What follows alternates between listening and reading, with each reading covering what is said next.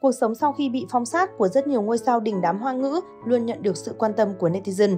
Liệu không còn cast ngất ngưởng, họ sẽ tàn đến mức nào? Trong đó, cái tên Đặng Luân có lẽ là ngoại lệ của Cbiz. Sau khi bị phong sát tại Trung Quốc vì liên quan đến việc trốn thuế, nam diễn viên Đặng Luân mới đây đã xuất hiện công khai trước công chúng.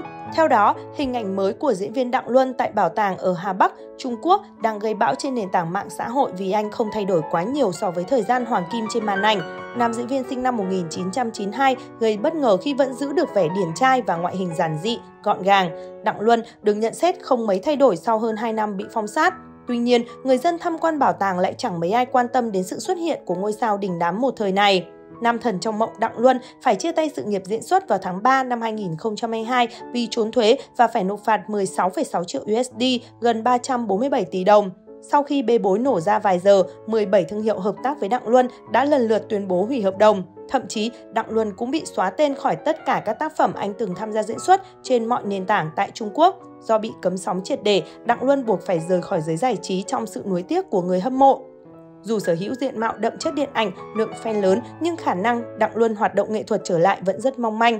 Hiện anh đã rút lui khỏi các hoạt động giải trí, phim ảnh, chuyên tâm kinh doanh nhà hàng lẩu cùng một số dự án khác. Đặng Luân đang tận hưởng cuộc sống bình yên bên gia đình. Anh thường xuyên xuất hiện trong các buổi gặp gỡ, tụ tập với bạn bè hay đám cưới của người quen. Sau khi ở ẩn, Đặng Luân tập trung kinh doanh nhà hàng lẩu, công việc làm ăn rất thuận lợi. Ở các dịp đặc biệt, Đặng Luân nhận được nhiều hoa quả và quà từ các fan gần xa. Anh cũng không quên đăng tải những bộ ảnh đẹp để fan đỡ trông ngóng. Thời gian gần đây, nhiều đồn đoán cho rằng Đặng Luân sắp kết hôn với bạn gái ngoài ngành giải trí, nhưng phía nam diễn viên chưa lên tiếng đính chính.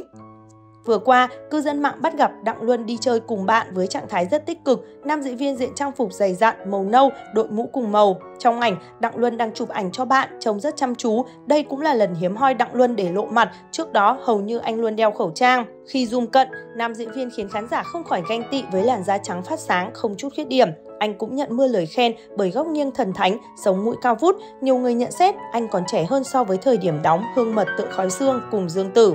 Hai năm qua, Đặng Luân bật vô âm tín, khán giả chờ đợi ngày anh tái xuất để lần nữa oanh tạc màn ảnh nhỏ.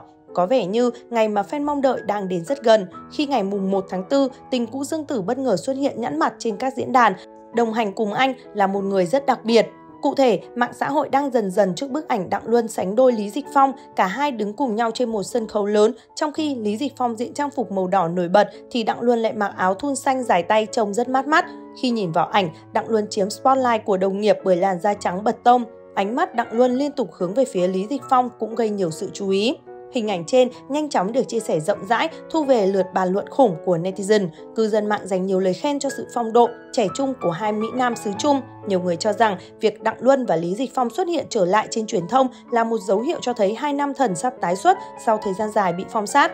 Tuy nhiên, đây chỉ là phỏng đoán của cư dân mạng mà thôi. Đáng chú ý, dù vắng bóng làng giải trí đã lâu, song tên tuổi Đặng Luân và Lý Dịch Phong vẫn chưa hề hết hot, bằng chứng là hình ảnh của cả hai vừa được chia sẻ đã thu về lượt tương tác lớn trên các diễn đàn mạng.